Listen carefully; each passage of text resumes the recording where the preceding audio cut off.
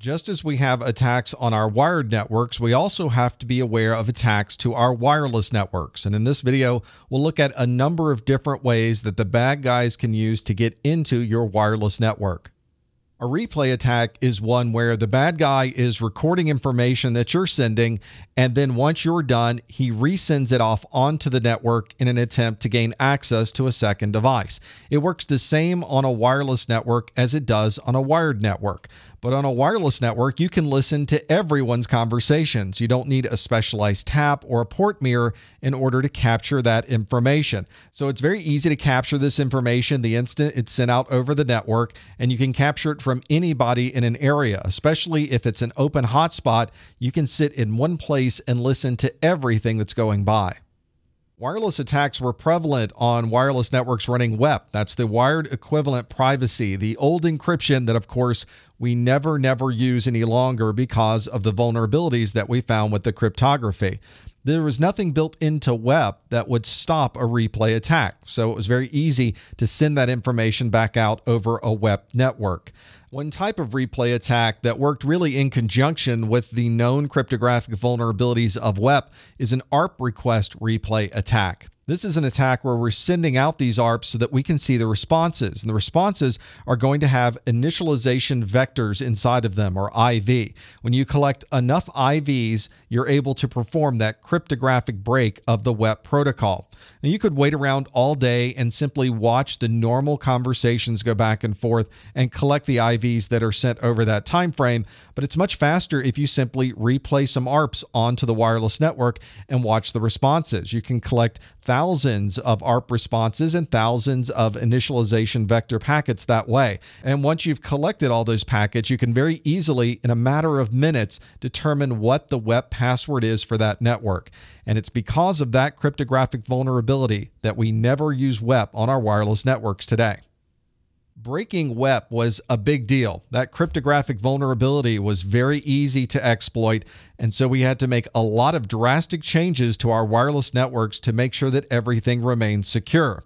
WPA was the next version of encryption that we created after WEP. It was an extremely strong encryption, but a number of vulnerabilities were found with the sub protocols that we use, specifically TKIP.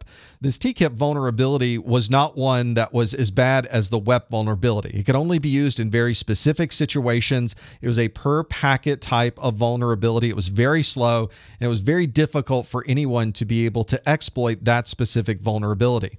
But even so, we needed a more secure secure protocol. So, of course, we created WPA2.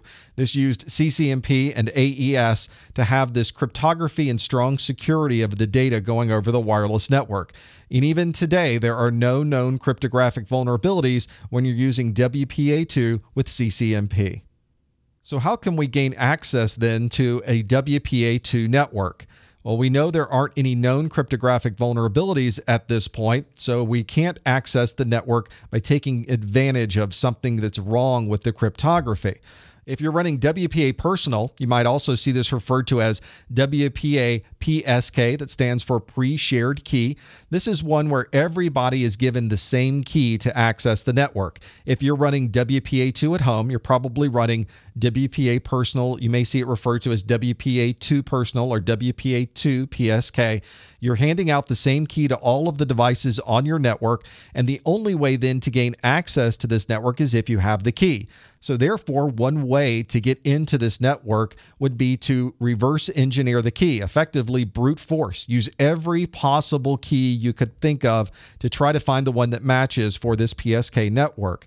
So, ideally, you should be using on your wireless network a very complex key. It needs to have a lot of numbers and letters. You want to try avoiding words so that nobody can use a dictionary attack against you.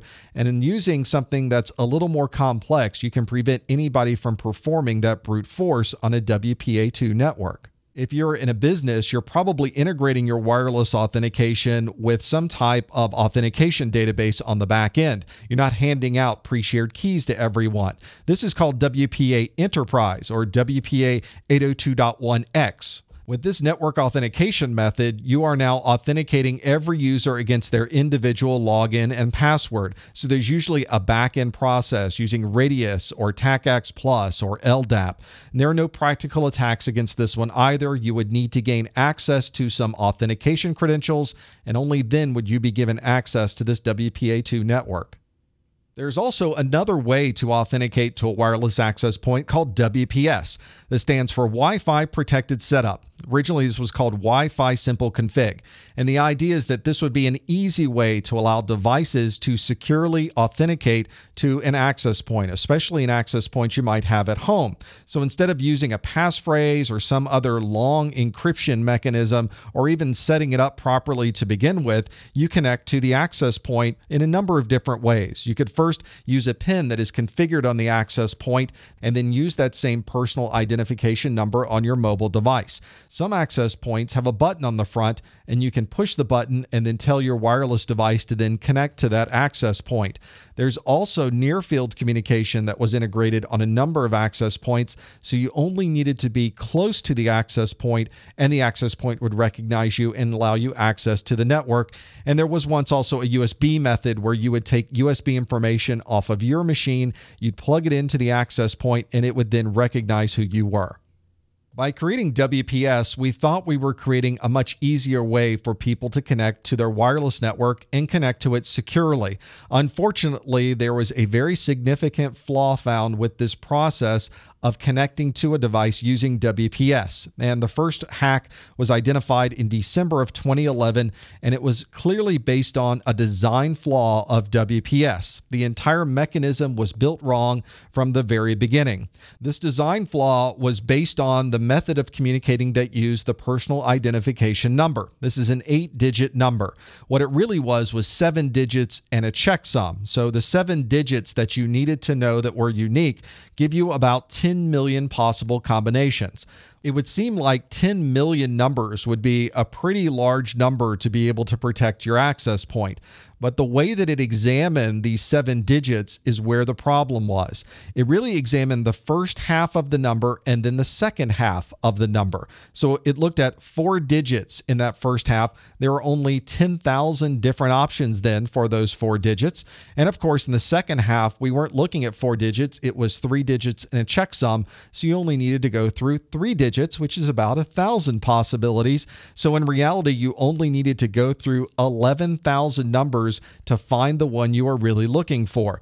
And if you did this on a relatively conservative basis to an access point, it takes you about four hours and you could go through every possible iteration.